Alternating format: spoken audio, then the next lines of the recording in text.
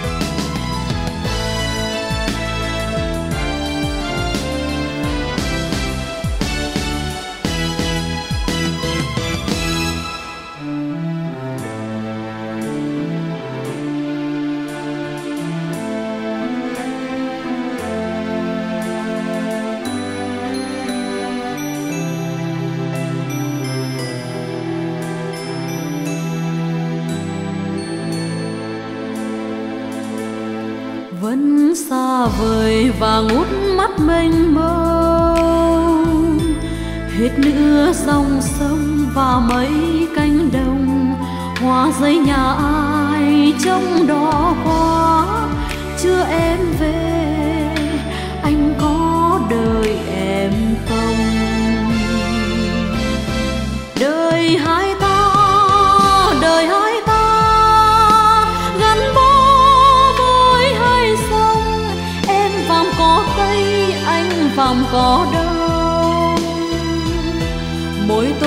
chiều lên trao sóng nước, bìm bịp kêu, sao sắc cả hai dòng.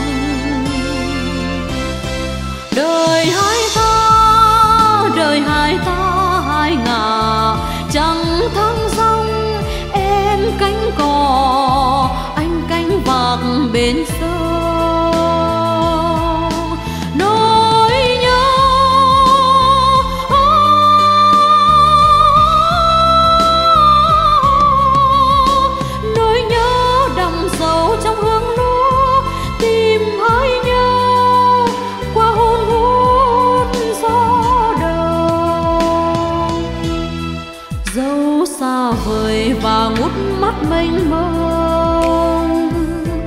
Muốn nói cùng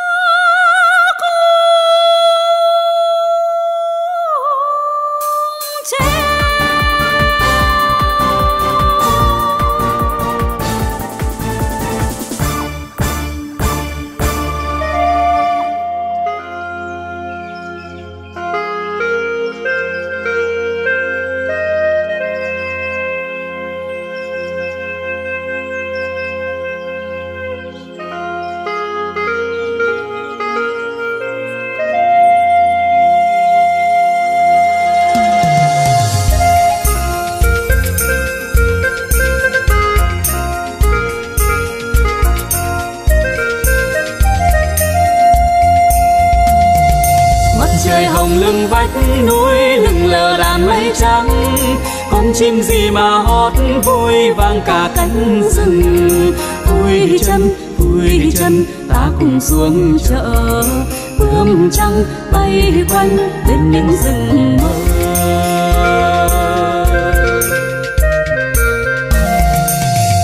Chàng trai mắt sáng từ đường mòn vách núi. Anh vui gì mà sao bay vang cả cánh rừng vui chân vui chân ta cùng xuống chợ. Bướm trắng bay quanh bên những rừng mơ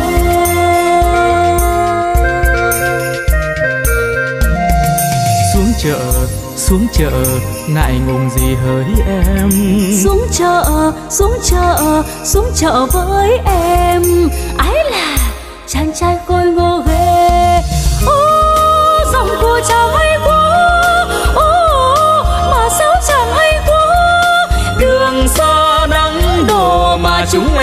vui. Chân đi bên em mà chẳng nói được gì. Trong ngực em ái là như có tiếng ngựa phi.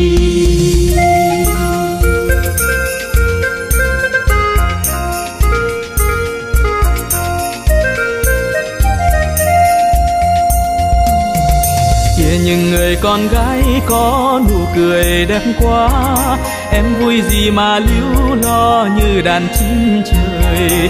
Mây bay lang thang trên đỉnh núi xa mờ, anh đây như mây bên tuổi đầy thơ.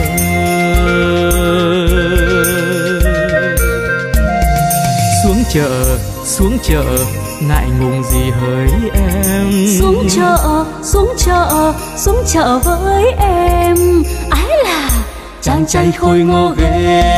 ô giọng của nàng hay quá. Ô mà sao nàng xinh quá.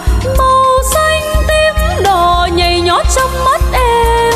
Chân đi bên em mà chẳng nói được gì? Trong ngực em ái là như có tiếng ngựa phi. Ô chợ của mình vui quá. Ô, mà sao chẳng hay quá. Đường xa nắng đổ mà chúng em vẫn vui. Chân đi bên em mà chẳng nói được gì? Trong ngực em như có tiếng ngựa phi mắt trời làm sau vách núi trở về chiều đã vắng.